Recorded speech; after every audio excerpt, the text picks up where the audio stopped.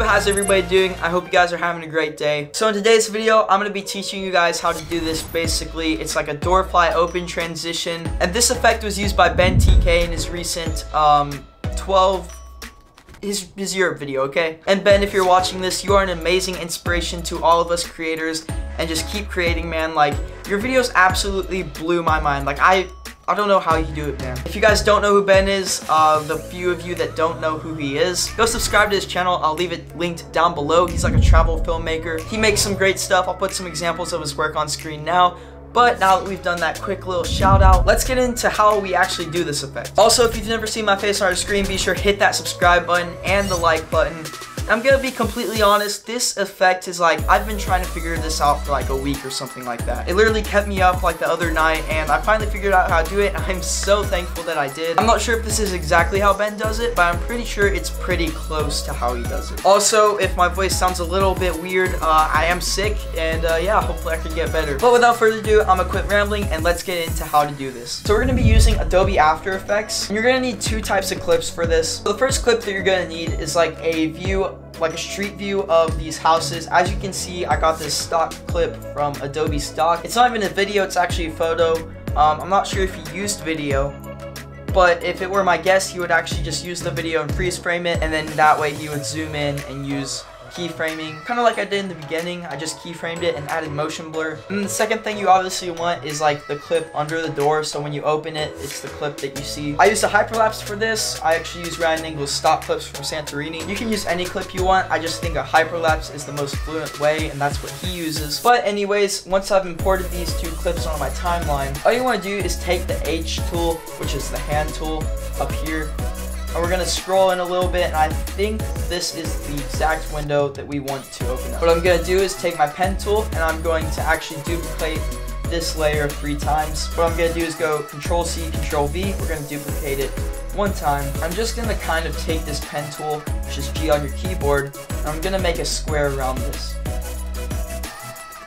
And you can't see it, but what that does is it basically cuts this out so you also disable this one. So it kind of cuts it out and uh, just cuts out anything around it. Duplicate that clip by Control C, Control V.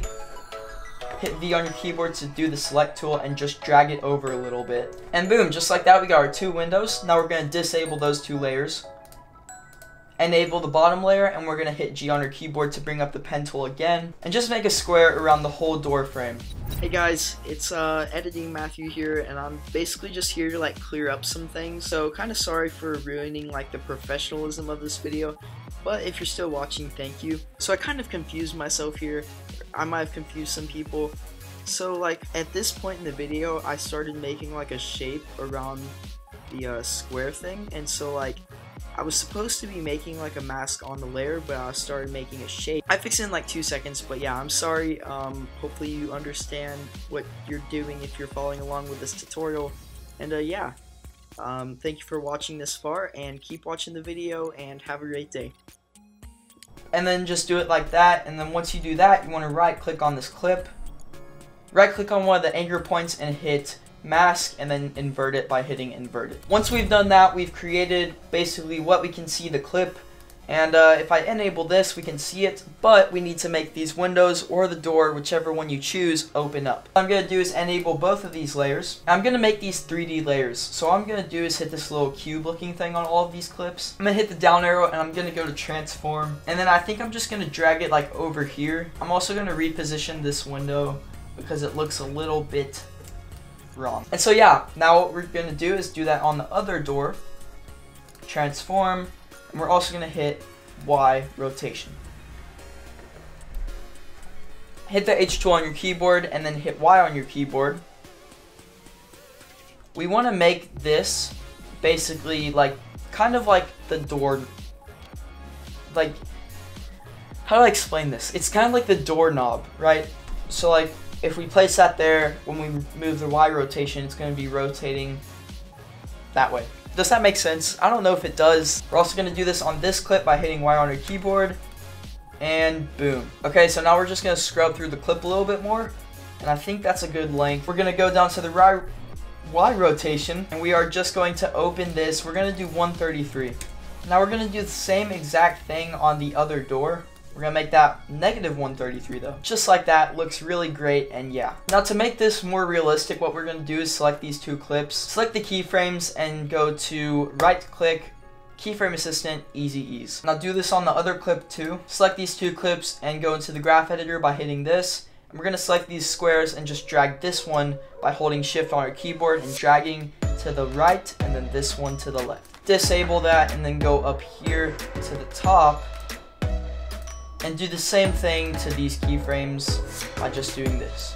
To sell this effect a lot more, now what we want to do is add motion blur by enabling these. If you haven't already enabled motion blur on your whole timeline sequence, then hit this little icon right here. And as you can see, if we just let it pre-render, takes a long time to do that if you can't tell. Boom, looks really nice. And obviously now we can just enable this clip under it, let it pre-render, might as well check my Instagram DMs. If you guys don't follow me on Instagram, be sure to do that, um, at Matt Vietzke, so yeah. Okay, now we're gonna take the H tool and zoom out on this clip. I'm actually gonna go to fit, and now we get into the least fun stuff. We're gonna select all these clips, and pre-compose them by right-clicking and hitting pre-compose. And we basically just made that into one clip. Now hit the down arrow and go to transform, and we're gonna hit keyframes for position and scale. I'm gonna scale in like so. And I'm kind of just gonna move around the clip. So like we can start off right here and then maybe we wanna like move over to right here. And we're just gonna keep like moving it around until like, obviously you wanna do this more efficiently if you're actually gonna do this effect in a video.